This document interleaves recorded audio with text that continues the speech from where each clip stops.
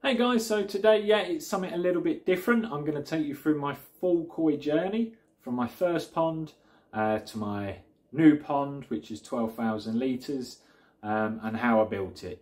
Um, it's just a quick series, um, just to show you my koi journey from start to finish. So uh, sit back, relax, and I hope you enjoy.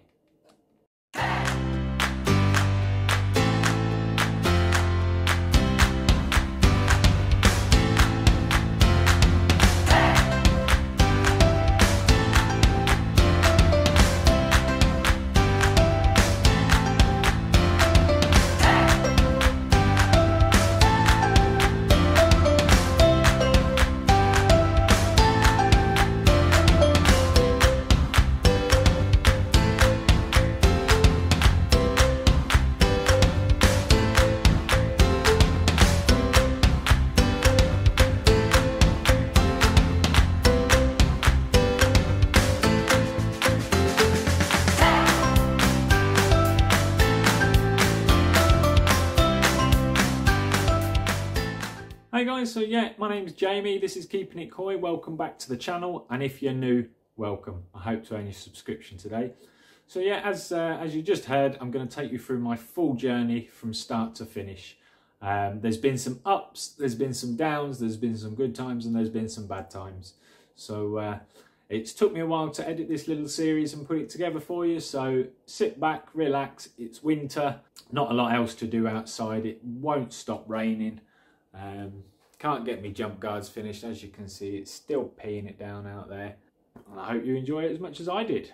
Hey guys, so yeah, this was my first pond build um, that I did when I moved into this property. You can see there I'm just laying out the scaffolding boards to get an idea of size marking it all out. You can see next uh, what I did for extra support. I dug some holes and put in some concrete uh, fence posts they're the standard four foot fence posts and they were only 18 inches out of the ground. So they were in deep and they were concreted in as you can see there. Now uh, you'll notice the back post was slightly higher than the three at the front there and that was because I was building a, a raised area at the back as you can see here. Once all the digging was done, all the soil I dug out was put in the three flower beds there. You can see there I was I filled the base of the pond with sand because my gosh was there an awful lot of stones and rocks rocks in my soil. You can see now I'm starting to work on the flower beds, bought some uh, slate rock and laying the weed membrane and then you can see the uh, copings were on, lilies were in and we were looking good. I decided to give a go at building my own waterfall so I used some of the stones and rocks and bricks that I'd pulled out during the pond build and then once uh, I'd got the rough shape of what I wanted gave it a nice smooth coat of cement. That was then later painted with fish safe paint which was masonry fish safe paint. You can also see there that I'd made myself a little upside down floating fish tank, which did work quite well. She worked very well. Unfortunately, it was a real pain to clean. That didn't last too, too long in the pond. And here we are just having a quick tour of around the pond at that stage. You can see the waterfall there in action. And then a little while, I wasn't overly happy with the waterfall and the filtration I had at the time wasn't fantastic. So I decided that the raised area that I had made, I was going to make use of that and turned it into a Bakki River. So it was all full of uh, different size gravels, some slate, and then shed load of watercress. You'll probably remember this uh, little clip from my intro to uh, my videos, which will be changing shortly. Uh, unfortunately, though, the Bakki River didn't last all that long either um, because it was a, a cheap PVC liner. No matter what kind of silicone I used, I just could not get the seal uh, done very well between the uh, water blade and the liner and it kept losing water. So in the end, I swapped it for a Bakki shower. And as you can see there, it's working quite well. But that didn't last too long either before I decided it was time to uh, build a bigger one. So as you can see here, I'm already removing uh, the flower beds, starting to dig them out. Um, yeah, that took a while, trying to get the spade in there. It was an absolute right palaver. Compact it down an awful lot. That pond was up for a good couple of years, really. Um, you can see there all the slate um, that I'd removed. I'm trying to save everything ready for my next projects as I go. Um, fish unfortunately weren't very well at that time, going through bacterial issues. Uh, so I decided that uh, I was going to need a couple of vats. You can see there as well I'd upgraded uh, to an extra pressure filter as well as the box filter and the Bakki shower. It was a small pressure filter that one. And then bought a little vat for me uh, fishes in the pond. And what I was doing with the soil, I'd made a slightly raised area through one side of the garden, as you can see here, um, filling that up with soil as I went. And then that next section, you'll see that, uh, what we do with that shortly. I also picked up another blue vat because uh, the fish I had at the moment uh, were not very well any new fish I was getting in. Um, did have some fry on the way uh, and whatnot. I didn't want to cross contaminate them. So uh, the fish currently in the vat that we just saw were the healthy fish. Uh, the fish that are left in the pond are the poorly fish.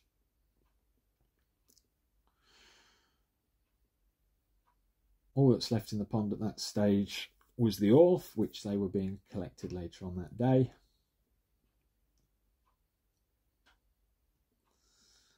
And the uh, healthy fish are sitting there in the pond. Did buy a couple of other new fish along the way. This one was from Danny's Koi channel, a lovely Jin Matsuba. And then you can see here I'd started to work on the next section of the raised area of the garden uh, filling it up with soil as I go.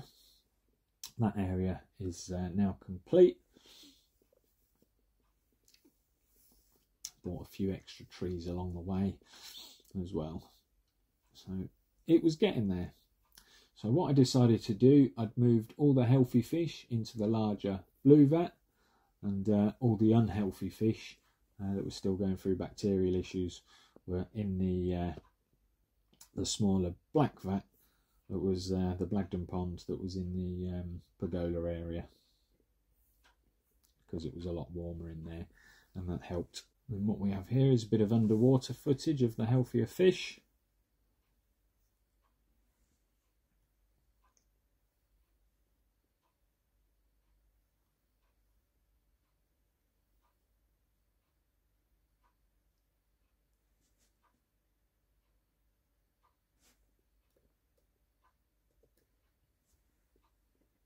And then this was the uh, Matsuba that I managed to pick up from uh, Danny's koi pond.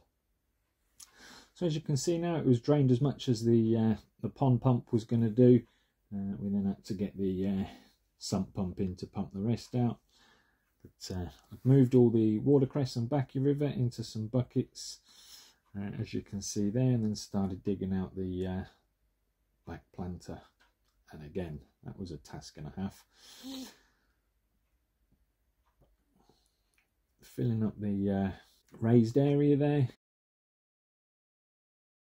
And eventually we managed to get that emptied. The lilies I also saved. I've got some fry. They finally arrived. Uh, all healthy and looking good. They were from uh, Jack, the Baldwin Reefer, but they came. These ones, uh, as they were the year before, they actually came from Daz's koi farm, and I still have a few of them in the pond today. Thank you, Daz. You can see there the pond is now being uh, dismantled.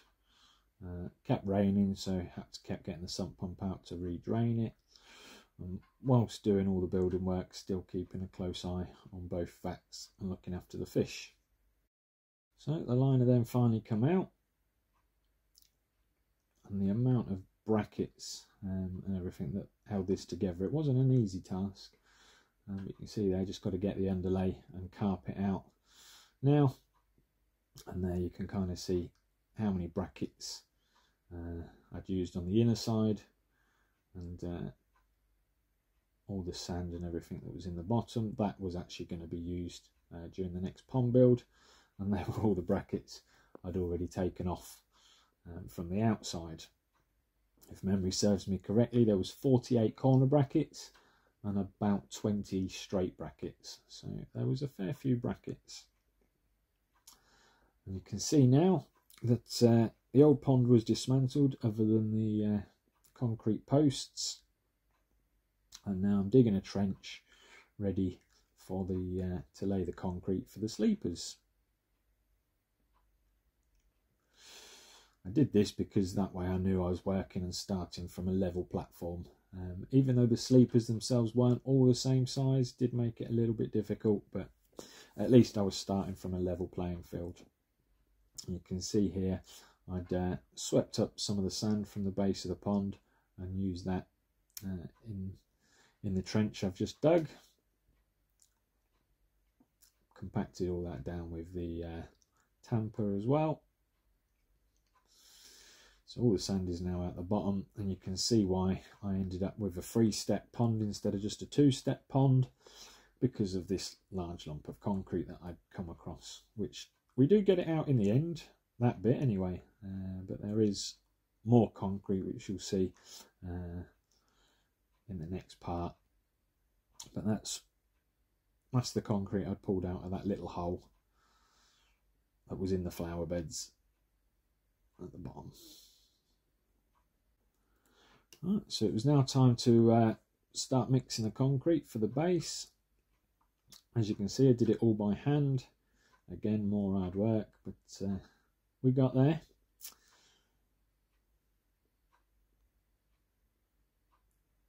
So you can see there, laying the base, uh, well, laying the concrete collar down, ready for the sleepers.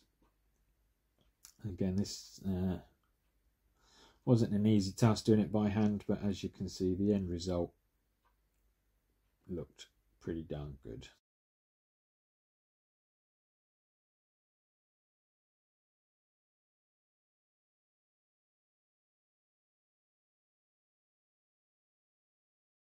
So here you can see um, that the uh, has now started. Only gone about four more inches down off the top layer so far. And as you can see, pulling out an awful lot of uh, rocks, stones, um, an awful lot of rubble on the soil. So it wasn't exactly easy to dig. Um, there's another pile that I'd already dug out as well. But the uh, grass area that I was making uh, was finally about up to level. I'm just tampering it all down in between the rain. And as you can see, the concrete had fully set by then as well. So yeah, then after that, it was onto the main dig. Uh, started off just digging straight down, removed two of the uh, the concrete posts. That's not the bottom drain hole. That's where the concrete uh, came out of. You can see how much they were they were buried. Um, they could have had a lot more concrete on them. Um, but one bag per post was plenty. You can see as well the amount of rubble um, I was pulling out during this dig. Absolutely crazy. But I have got the uh, the grass area now all sorted. Weed membranes down. Under the weed membrane there is a uh, thin layer of sand cement mix. Uh, so that can all go hard, ready for when the grass is laid. Um, around the edge of it, I've put a uh, batten of wood as well, just so I've got something to uh, to staple to. And you can see here the batten of wood and the uh, sand cement mix there up to the level of the batten.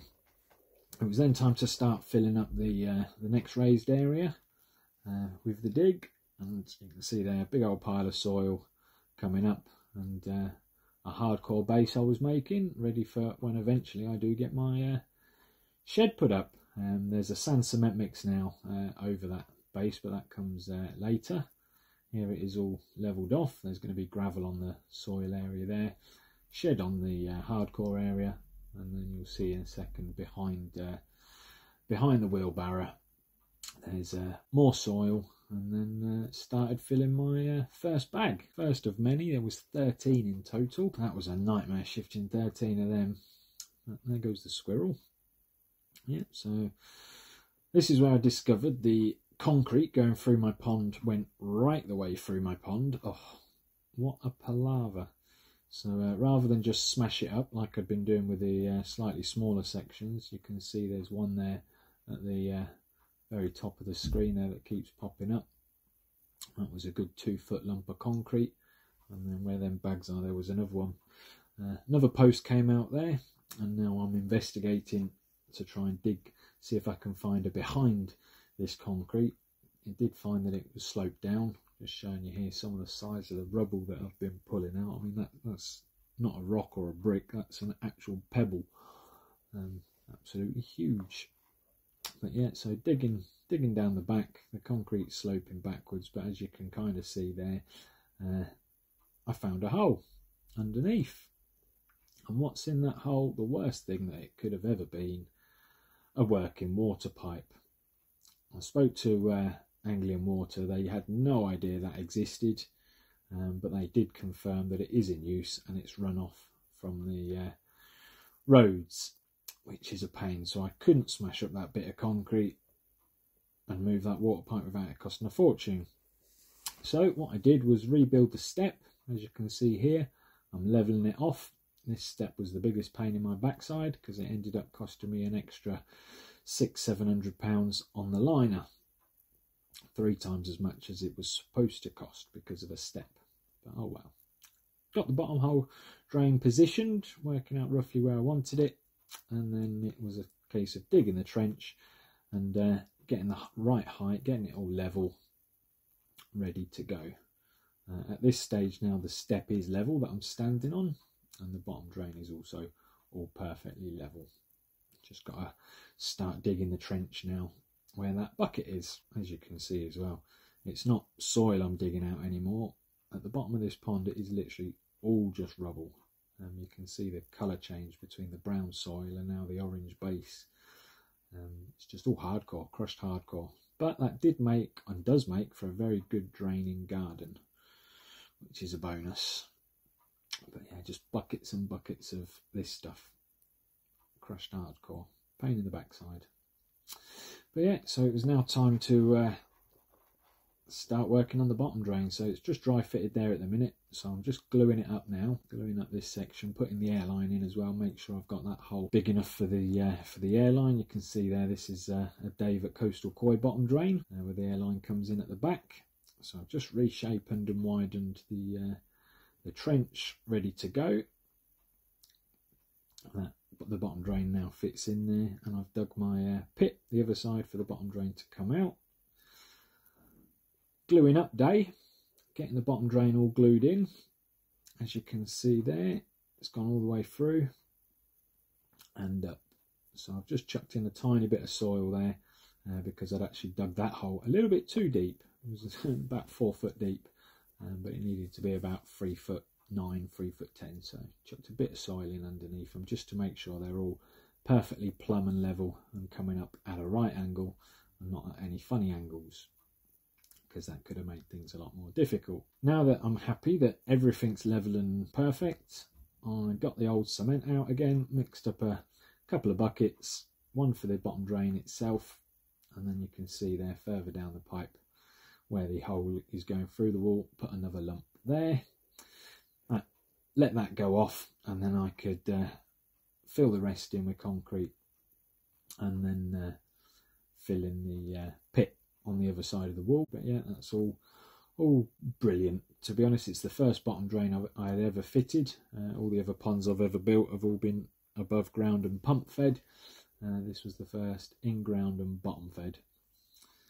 So uh, yeah, you can see there, all nice and plumb and level. There's cement as well. I sealed up the hole uh, from that end with cement, which was a bonus. Got all my drains covered so it don't get full up with water. Got a wheelbarrow load ready to chuck in. That was the last bit I dug out, so I thought I might as well throw it back in. You see it's very hardcore based. Um, but yeah, that was all good. Time to tidy up for that day. While I've been doing this though, all the fish, these are the happy healthy fish in the blue vat down at the back of the garden. And as you can see there, they are all doing absolutely fantastic. These are all the, the newer ones that I'd started purchasing whilst building the pond. Silly really buying new fish whilst building a pond but I'm me. But yeah as you can see they're all loving life in there at the minute. Bear in mind this is the middle of winter. This was about November time um, last year so they're uh, they're doing all right at this moment in time That was back when my Tancho was still a Tancho. And the Beni Kikokuryu there, one of my favourite koi in the pond. Koi, he's grown. He was 32 cm back then. He's around 50 now, just short of. So yeah, he did well this season. There's the new one I got from uh, Danny's Koi Pond. These though are the, the poorly fishies. Now there was 30 in the little pond to start off with and as you can see I'm now down to about 5 koi and 3 or 4 tench. And uh, you can see that white one at the front there. Doesn't even look like a koi anymore because it's missing half of its dorsal where it had a huge ulcer down its back. But uh, yeah, unfortunately none of them made it. But what can you do? They're all in the uh, little Blagdon vat that's in the uh, front pergola there. Still running on all the old filter system that was powering the uh, the main pond at the time. Got the Bakki shower there I'm about to set up as well. And uh, that's just running on the uh, the pressure filter currently, but there's only five fish in there, so that's a 30,000 litre pressure filter, that one, and it's heated, so that ain't a problem. And that pressure filter had already been running for a year or two prior to moving them into here. But I'd only turned the Bakki shower off because of the heat. The fry, still doing fantastic. As you can see, growing really, really well now. Had some crackers in there from uh, Daz's Koi Farm. And then that was it. Got the uh, bottom drain fully concreted. I did a, a concrete all the way down the pipe just to make sure the water pressure from a 12,000 litre pond wouldn't move or damage the pipe in any way. Um, and then just top that back up with uh, soil as well as the uh, trench here. That was the soil I had left. Then I got these few bags here that I uh, eventually lift up and uh, chuck in there as well. But, uh, I left a, a, small gap just so it was easier to do the pipe work, but and then we smooth this off and level it off with some uh, soil as well shortly. Well, there you go, guys. That's uh, part one. Um, hope you enjoyed that. That certainly took some uh, some time editing through. Uh, I think that was 19 videos um, I went through to make that uh, 20 minute clip. So uh, yeah, that's where I got to at that stage. Um, I hope I've earned your subscription today. If I have, then you'll be able to see part two, which is coming out next week, on uh, where I progressed from after cementing the bottom drain in. Obviously, uh, all the concrete that I needed to do for the pond is now fully set at this stage, so it's a case of getting the sleepers, starting the build. Um, so yeah, hope I've earned your subscription today, and you'll be able to see that uh, coming next week. So uh, I haven't edited that one yet, uh, so uh, a lot more work for me to do. But as work's quite quiet this time of year, and there's not a lot I can do out there because uh, still raining, as it always is. So uh, yeah, I'll get cracking on the next edit, and we will catch you all on the next one.